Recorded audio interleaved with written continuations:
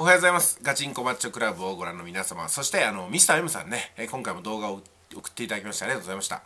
なんかその膝でやる腕立て伏せみたいな感じですね。まあそうすると胸の下のこの筋肉が鍛えられるということでよくわかります。あのそれでねやっぱりねなんでこの体勢で、えー、トレーニングをするのかどこに効果があるのかってことが今までの本当動画の、一つ一つで本当よく分かりやすいですね。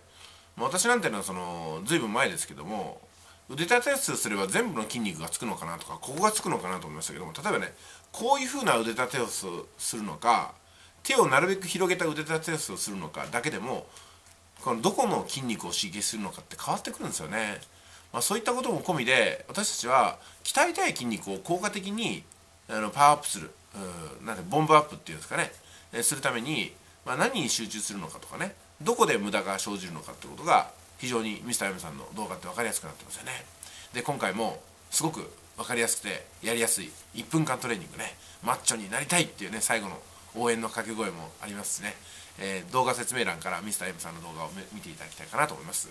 うんまあ、どうですかね。本当にムキムキのマッチョマンとかねスタローンとかねシュワーツネガーみたいになりたいと思うんですけども、まあ、それはモチベーションで使うだけであって実際あんなね映画スターみたいな筋肉にはなかなかなれないと思いますんで私たちは健康とねあと免疫力を上げるためだけに、えー、まずはフォーカスして、えー、自分のね体を守るとか防御力をつけるとかそういった意味で、えー、まあ、筋肉を意識するといいのかなと思います。まあ筋肉がつくと本当にね病気になりにくいんですよ。全然病気になりにくいと。で気力も上がってきますんでいつも元気でいられると思うんですよね。はい。で特にねビジネスされてる方は体が衰えがちなんでね やっぱ脳も動か動かないといけないんで全身の筋肉をつけていければいいなと思います、まあ、ところでねミスター M さん。あのー、今ちょっと思いついたんですけどもやっぱ筋肉の働きって脳の活性化に直結するんでしょうかね。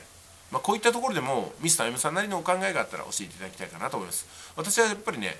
脳ばっかりが活性化して頭が良くなるためにはやっぱ体の筋肉とかを鍛えて酸素の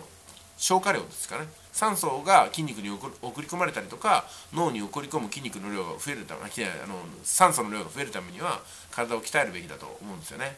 まあ私の感覚ですけど科学的根拠はありません。